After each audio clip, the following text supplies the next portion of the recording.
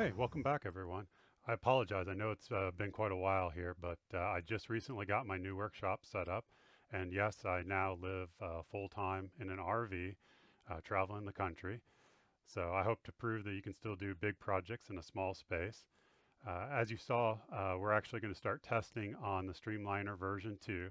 And to bring everyone up to speed, the goal of this project is to build the world's fastest 3D printed radio control car. I want to exploit the capabilities of 3D printing to hopefully create a uniquely engineered RC car, and I want to make it uh, relatively cheap. I think at this point I have a bit over $100 in the car as it stands, which is way less than most speedrunners have in a single battery pack. So when I left you last, I just completed testing of the version 1 of the Streamliner, which successfully made it to over 90 miles per hour uh, with a cobbled together uh, front suspension. Um, I then took the lessons learned from version 1 and went ahead and incorporated those into version 2.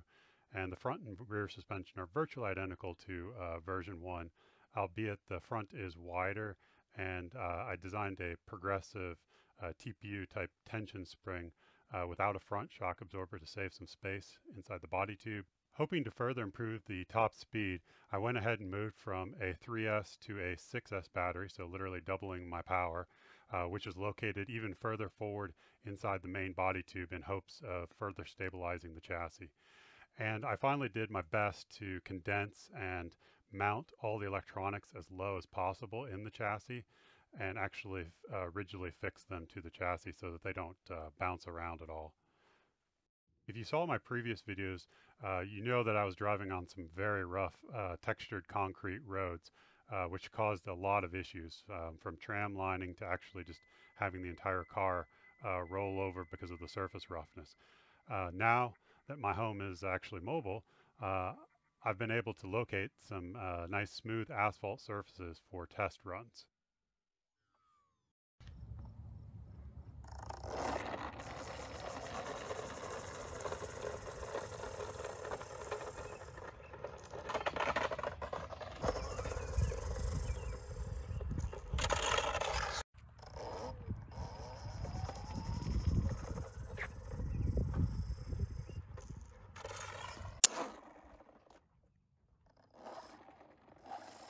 The maiden test of version 2 was honestly a complete failure.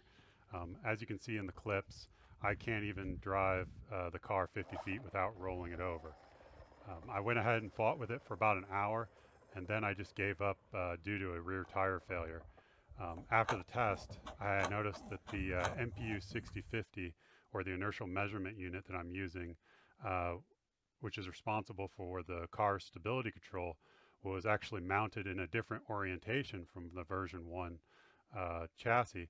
So the stability software was actually destabilizing the car rather than stabilizing it. Uh, so I went ahead and I fixed the code and then I found a location for test run number two.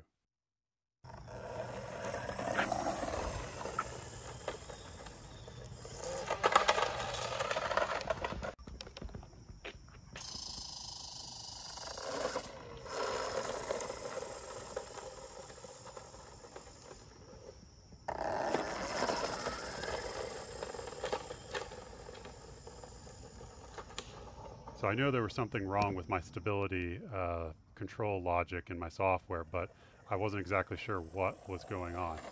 Um, I did get a couple of decent runs approaching close to 40 mile an hour, uh, but they all ended in a crash. And I finally broke off the nose cone and the GPS unit came flying out. So that was the end of uh, test two.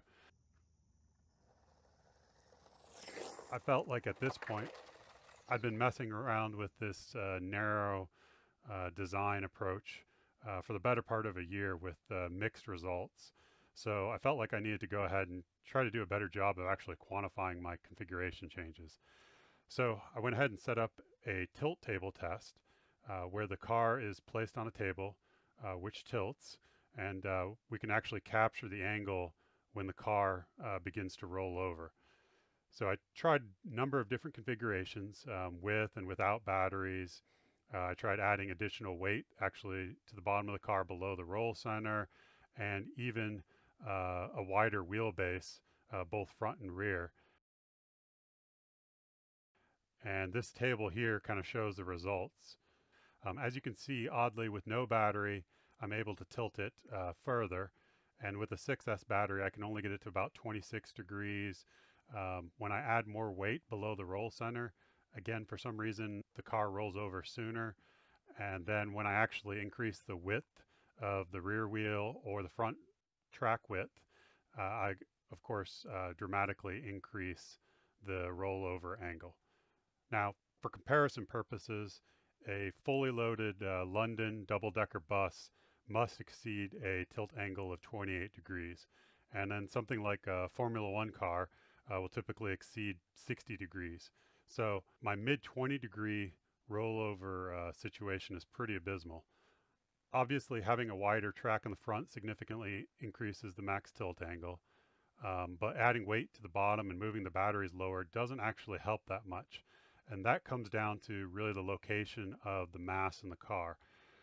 Because of the type of non-independent front and rear suspension that I have on the car, the roll center will be along an imaginary line between the wheel centers.